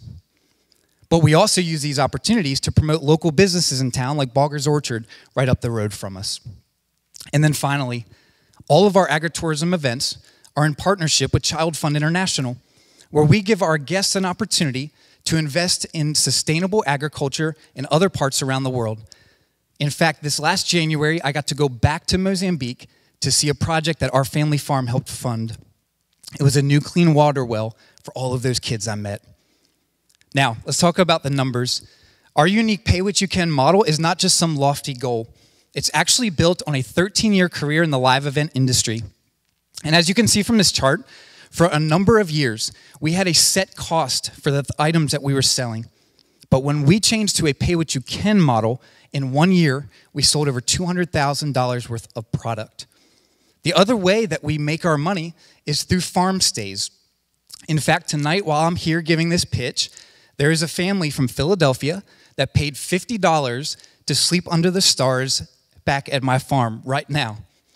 And you see, Carroll County and Frederick County are leading the state in the number of farms. And so, what we have done as a farm business is we have developed commission based relationships with companies like HipCamp who need farm owners. They're actively looking for owners right now to operate their business. And what we do now is we want to connect farmers in Carroll County to these agritourism dollars at no cost to the farmers. We get paid by HipCamp. What I want you to leave knowing tonight is this Willett Family Farm wants to be the windmill that harnesses the power of agritourism in a county that thus far has been pro agriculture production. We want a vote for Willett Family Farm not just to be for us, but to be for every farmer in Carroll County that is trying to make ends meet in the middle of a pandemic and beyond. Thank you. Excellent. Olen, you're up first. Thank you. first. Oh my, okay. So I have to disclose that uh, I grew up in Paris and I am not already being in Sykesville. It's a stretch for Wait, me. wait, wait. It You're was- French? I am. and uh, um, so I was so curious, it seems like a little child, to visit the farm. So yesterday, it was yesterday, I drove with my youngest son to almost Taneytown. and uh, I just wanted to walk around, and, um, and my family likes to camp. So um, I know you have camping, so I got to meet Jeremy for the first time yesterday. And I was very impressed with all of the things that you're doing because a lot of farmers are, are not making it in Carroll County, and it's very sad. I remember when we bought our house 20 years ago, we had to sign a lot of papers saying we should not complain about the farmer. Like it, it seems like it was protecting the farmers, but yet we see houses being built on farms, and so. um, so your source of revenue is Hip Camp, and then you're renting land to um, to other farmers to farm, and then what was the third one? There was a third one. Third one is pay what you can uh, produce. Pay, uh, uh, sell your products. Um, I did have a ton of questions, and I'm being. Why did you ask me first? Um, no, I do. Oh, you. I wanted you to talk a little bit more about the charity. You're giving back. You're learning from what's happening in Africa with all your travels. I'm so jealous. And then, um, and then you are giving back to them. So can you talk a little bit more about this? I would love to. So we do personally give a portion of our profit to Child Fund International help with these projects. But what's so amazing about it is that a lot of the funds are actually coming from the guests that visit our farm because we're providing pictures, stories, and information about each individual child that I met in Mozambique and allowing those guests to sponsor individual children at a time. So they're giving the money directly to Child Fund. We don't touch the money, and they give on a monthly basis to help meet those goals in Mozambique. So if you were to win tonight, what would you do with the money? That's a great question. We want to increase our agritourism events, so we want to purchase a large outdoor tent so that we can put on like Barnstorm Music Festival. Um, Mike McMullen played at it years ago at our farm, and a Christmas uh, event. And we want to purchase the tent so that we don't have to put like sprinklers in the old barn that's over 100 years old. um, because we want to be compliant with the county. So I've, I've actually seen firsthand um, in uh, Uganda um, the use, I don't want to say misuse, of um, donated and sponsored funds instead of going to, directly to the child, going to a larger organization to feed multiple children, uh, rather than the sponsored child getting the funds.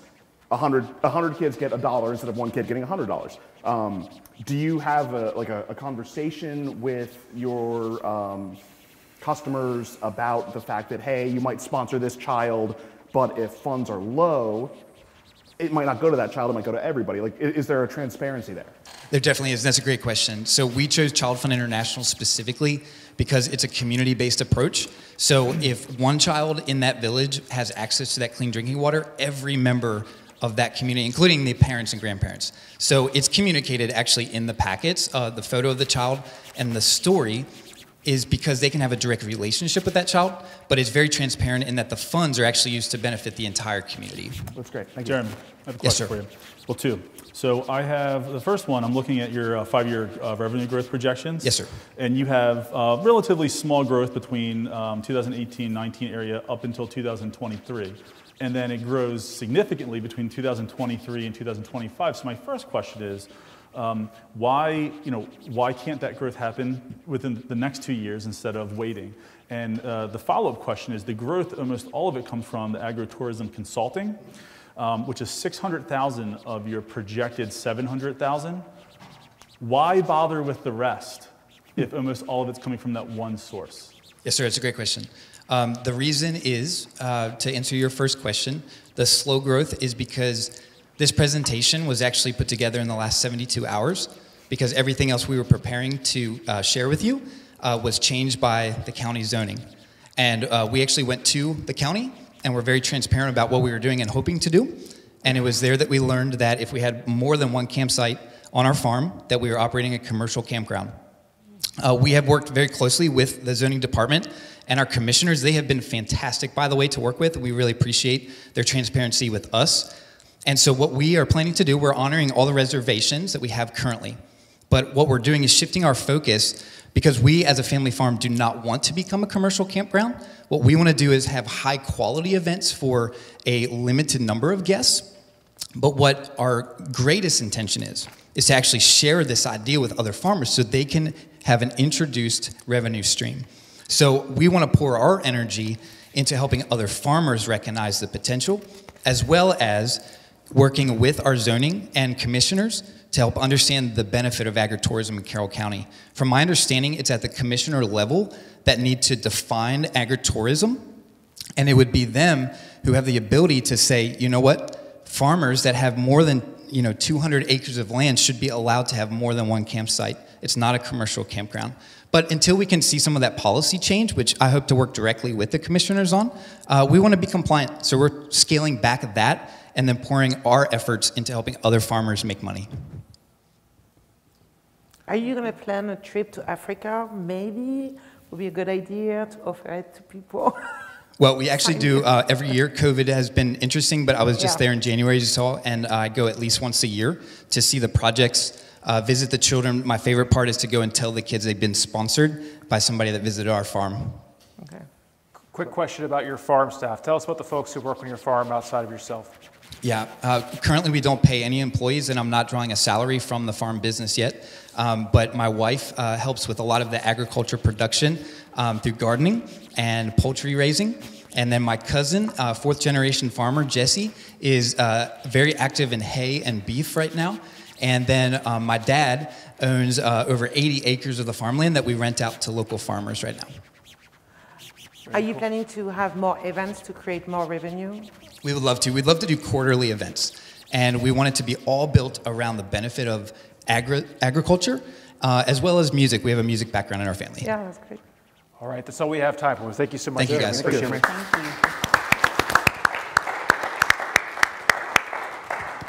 Well, there we have it, five presenters. The presenters almost equaled the audience. Uh, we didn't hear anything from Dr. Fauci, and I'm going to assume no news is good news Ex- in that regard, because I assume he would have spoken up if there was an issue. And, and, and Vice President Biden and President Trump have, have been very, very polite sitting next to one another. And Governor Hogan, of course, has been a class act over there. So I think Yes. we're, we're doing well.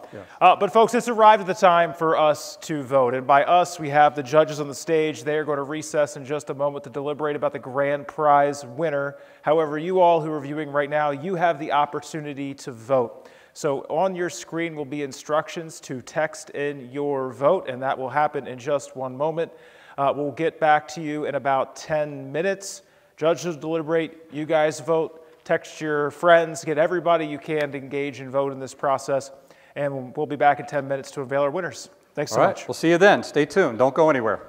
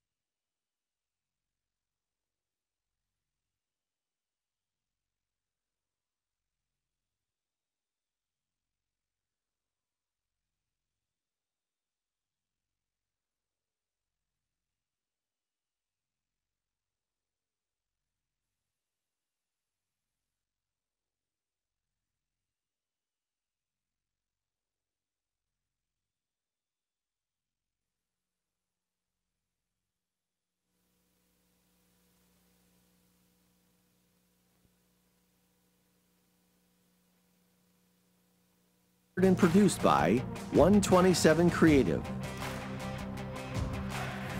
Tonight's live streaming broadcast is provided by the Community Media Center.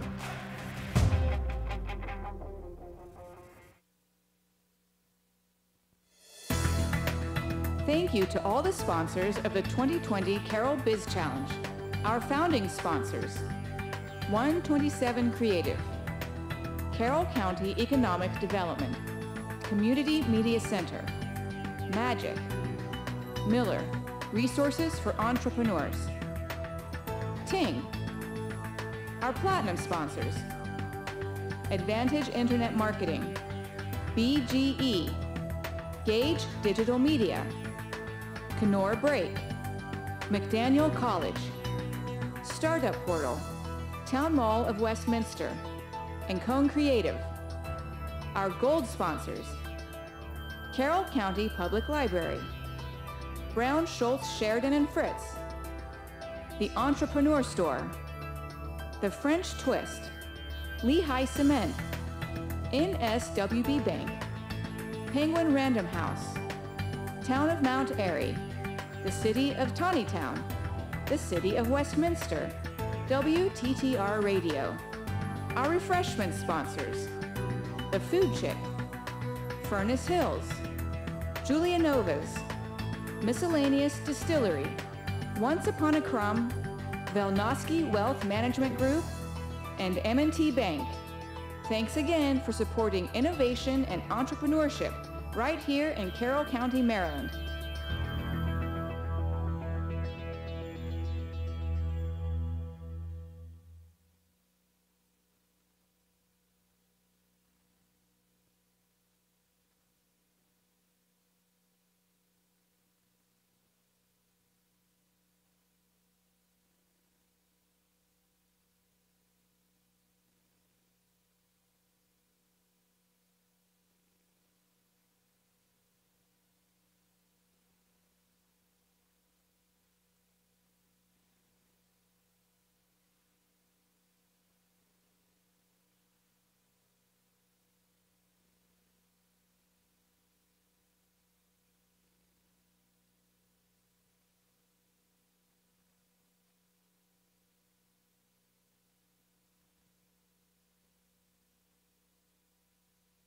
The Carroll County Business and Employment Resource Center is your local connection for all of your employment and training needs.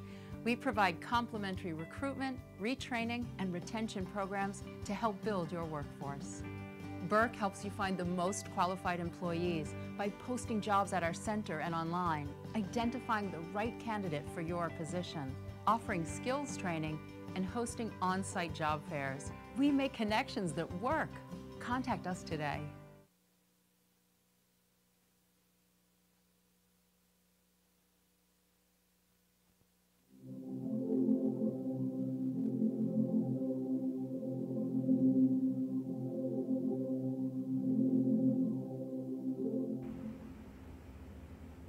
I'm Dodds, the Executive Director of Magic.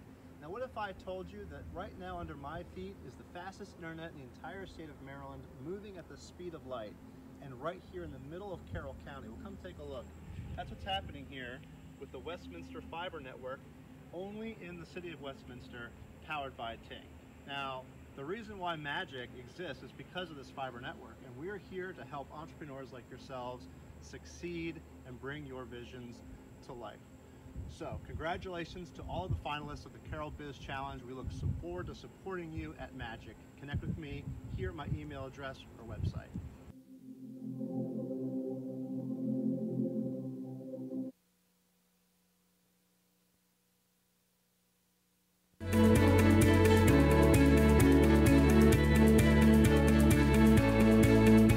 What I have found over my many years is that most entrepreneurs are just not good business people. They need to learn that skill.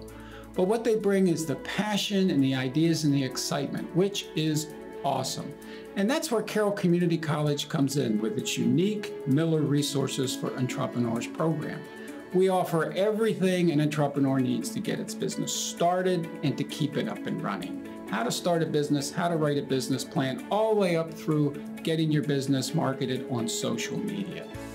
So often, business owners are great at their craft, but they're not great at the business of their craft.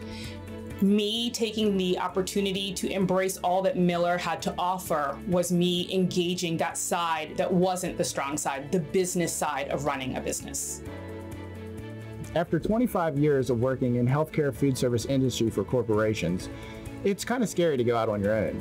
Miller helped me organize all my random thoughts into a business plan and help identify where I needed to be. Miller provided the structure that I needed in order to make not only a short-term plan, but a long-term plan. Before I knew it, I had a company. Miller is a great resource to help you come up with how to approach the next step in your growth as a business. Congratulations to the contestants and let the competition begin.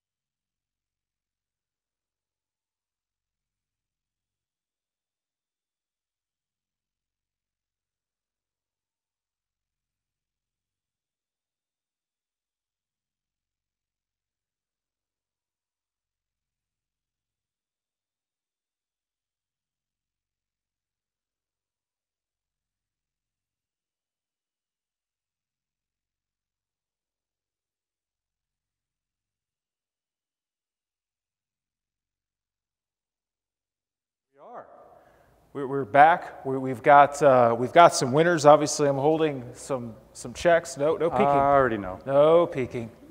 Um, but uh, before we uh, get to award presentations, we do want to give our judges about 30 seconds to say a few Mhm. words, and so we'll we'll go with Dave. You're, you're closest to me, Thank so you. you. you start off. Thank you. So um, I did this a couple years ago. Uh, it was tough. Everyone did an amazing job. Um, I felt like the presentations were clear. I knew what people were trying to tell me about their business, about themselves. Um, I grilled a couple of you pretty hard because I thought this year we had some really ambitious goals for these businesses, and I wanted to hear a little bit more.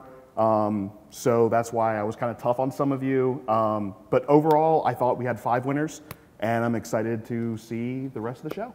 Excellent. Thank you, Kim. I just really want to say that everyone did an amazing job here. Very ambitious goals, very ambi- ambitious vision, um, especially in this environment. The fact that you all here, you're definitely winners. Um, again, I just want to, you know, thank you all for the opportunity to be here and witness, you know, these budding entrepreneurs um, and to see how much success they're going to have. So everyone had amazing pitches, um, but um, you know, you're, you're all winners. So just thank you for the opportunity and thank you all for your courage um, to get up here and, and really give your pitch, especially in these, these current times. Excellent. Thank you, Joe. I really enjoyed the diversity of ideas. Um, I think that we had a lot of very different types of pitches today, which made it which made it hard. It's hard it's hard to compare such different types of businesses uh, against each other. And um, I will say that everyone uh, it was it wasn't easy picking a winner. And uh, I, I think that there were a lot of really good. Every idea up here was a good one. Alen. Yeah, I agree with Joe. It was really difficult to pick a winner. Um, it was, and just like you said, it was very diverse, uh, so, which makes it a little bit difficult to compare. Um, but I think they're all going to be very good businesses in Carroll County, and I can't wait to see them come alive. I mean, and visit the ones that already are existing. So. Thank you all so much. You're fantastic judges, and so, So, we'll. Uh, so we're almost ready, but before, because the anticipation is crushing, um, so we'll drag it out, naturally. Uh, I, want to make sure that, that we do some, some thank yous. Certainly, uh, thank you to all the sponsors that make this possible. Uh, thank you to 127 Creative for the wonderful production that they do. Uh, thank you very much to Mike McMullen and the Carroll County Chamber of Commerce, one for inviting me back, uh, and speaking for Jason, inviting us back. Had a wonderful time as always. Uh, I want to thank um, the Carroll Arts Center for hosting us again uh, under these conditions, uh, and everybody else who helped make this happen. An awful lot goes into this. Whether we have an audience or not, the show has to go on. Uh, and certainly thank you to the judges uh, and all the members of the production team that were here. So I want to make sure we say that. Uh, I also want to, to say this. Um, we do understand that COVID is a pandemic, that it's a very serious matter, uh, and it's resulted in tragedy worldwide. Uh, I hope people take the fun that we had with the social distancing with it in stride. At some point, if you can't laugh in its face a little bit, where are we? So I appreciate everybody's patience with that uh, as we did our thing up here. awesome with that. Mike McMullen, let's come out we here go. and announce It's our time. People's Choice It's Award. time.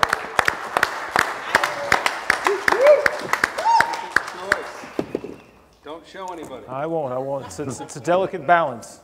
I'm using this microphone, I'm assuming, right? Am I on? It's working. Okay. I hope it's working at home.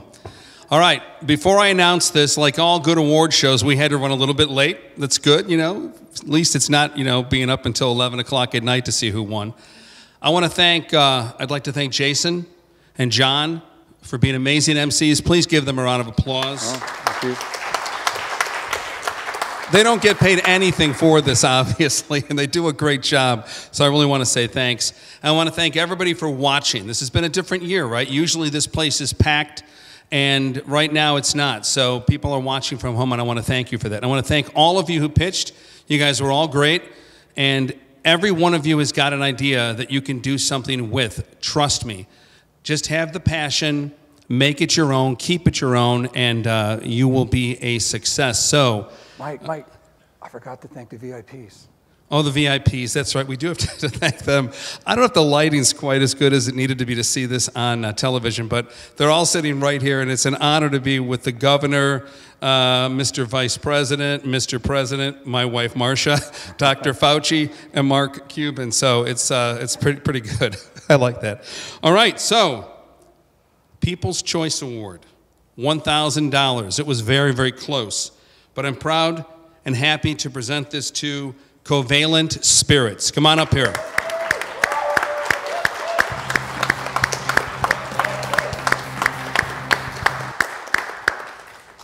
Here they come. Can I have you guys give a short little speech? Come up to the microphone. We'll get a picture. Is anybody taking pictures? No, we're doing that after. All right, we'll do that afterwards. You guys hold your check. I should probably have my mask on. I'm sorry about that. So we just want to thank everybody out there online. Obviously, the voting this year was tremendous from everybody. We want to thank our judges, uh, sponsors, everyone who helped put this on, all the people that were local to encourage us. Uh, we're really excited about this concept. And we really want to put a shout out there to all the Facebook and texters and everyone else who, who, who helped us get this. So thank you. Thank you very much. Thanks, guys. Can you hold this? Can you handle this big check? I think so. All right. It's always a lot of fun to present the big check. Now, when you win this, okay, you can't just take this to the bank, all right? This is just, you know, just so you know that. So this goes on the wall for you. So, as, as everybody said, we had five very different ideas. So it's hard to compare one to another, but uh, I think this, this person gave an amazing pitch in an area like Carroll that's so heavily suited to agriculture. I'm very happy to present this to Willett Family Farms.